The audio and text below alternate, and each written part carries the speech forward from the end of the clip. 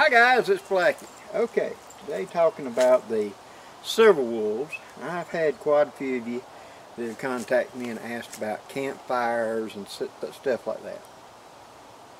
Because I already showed a couple little quick tips about how to generate tinder and stuff like that. But quite a few of you said, you know, look, uh, Blackie, I'm 67 years old. I'm just not that flexible anymore. So what should I do? Well, let me tell you what I would recommend. And since you're pretty much car camping, you're just going out to enjoy the woods or whatever, is get you a little grill or something, or whatever. Now this is a brazier. And what that means in English is this is an old 1700s type of grill, basically, okay? You got the firebox right in there that you put your coal or whatever into, or in our case, we'd be using charcoal. Get it set up there right. And then you could set something directly on top of it like a finer mesh grill to grill a burger or something like that or to heat a coffee pot and then these four outliers where you could set a coffee pot or something aside to keep it warm okay with this tilted back and this open you could then drop a little bit of firewood in it's pretty durable too try that one more time with this in here correctly, you could then stand firewood up to the far side and let them self-feed into the fire. Okay? But it doesn't have to be this. It could be just a regular old little barbecue grill or something, or hibachi type deal.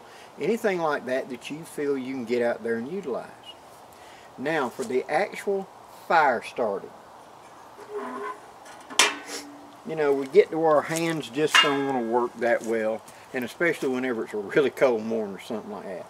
So, there is no shame in getting you one of these barbecue lighters. This is a little easier for our old arthritic hands to work than a Bic lighter. Okay, because a lot of times you strike it and you're, you're trying to hold the button and your thumb's too close to the heat and you might burn your thumb.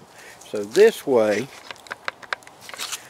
all I got to do is stick my finger into the thing, push that forward, and click, and I got fire. Just like that. Quick and easy, I can stick down in there and get it going. Now the recommendation that I make to you is the same one that I did for my wife back in the day. Because you'd think with my wife and I being together 32 years that she'd learned quite a bit. And she has learned a lot from me.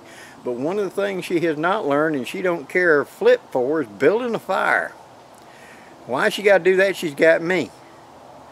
And so I do all the cooking when we're out there just about. I'm the one running the stove or I'm cooking on a fire, etc. And so she really don't want to learn how to do a fire. But there were times she needed to be able to do a fire by herself. And so I came up with this method. You remember those old paper lunch bags? You can still buy them at the store. That we had when we were growing up.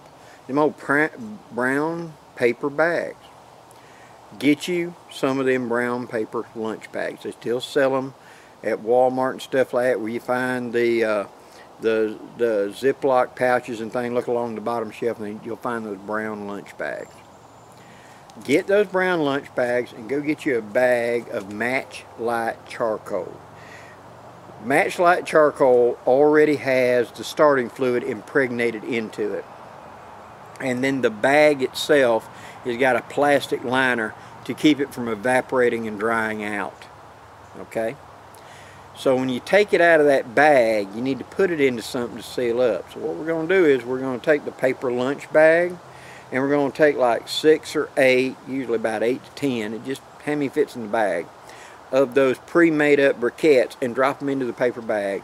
Roll the top down a little bit and put a little tape on it or staple it. Okay? And then you want to put it into an airtight container. Now what I like is no ammo can because this has got a seal on it it'll seal it up and keep that from evaporating so I can go ahead at home and make up six eight ten of them and put them in one of these boxes okay now whenever you want a fire you want to start up your barbecue grill excuse me, or I want to do a actual fire. All I got to do is take out one of them paper bags, sit it on the ground, and take one of these and set the bag on fire. Okay? Once the bag's on fire, it'll ignite that charcoal, and now I can start propping small sticks up on top of it and build a fire. Super, super easy. Very little training required. So again, brown paper lunch bag. Some of that Matchlight, Kingsford, or whoever's charcoal that's already set up, so all you gotta do is stick a match to it. Put the briquettes into the bag, fold the top of the bag open, fold it over, tape it closed or staple it, and put it into some sort of airtight container that that charcoal isn't going to evaporate and therefore be hard to light. Okay?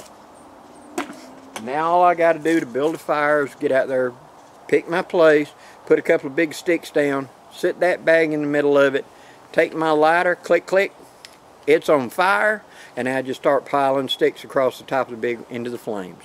And you've built a fire. For our arthritic hands and our knees and hips, just don't want to let us get down there at ground level and do all that prep time, Blackie, of shaving and trying to use a ferro rod and etc. This is a fast, easy way that you can build you a campfire. You can cook. If you've got you a little barbecue grill or a little brazier or something, it ain't got to be nothing fancy like that. Just something to heat and cook on. That's all. You can take tent stakes and put them in the ground where a grill sit on top of it and put that bag underneath it and set it on fire and just add sticks, can't you?